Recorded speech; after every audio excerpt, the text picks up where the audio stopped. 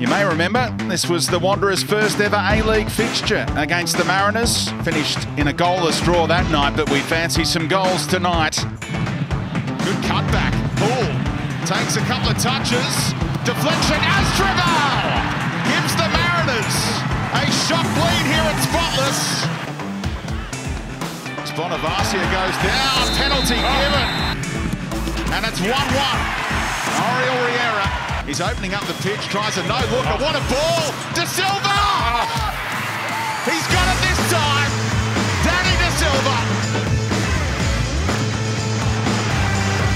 In behind Payne. Right across the face, Glover!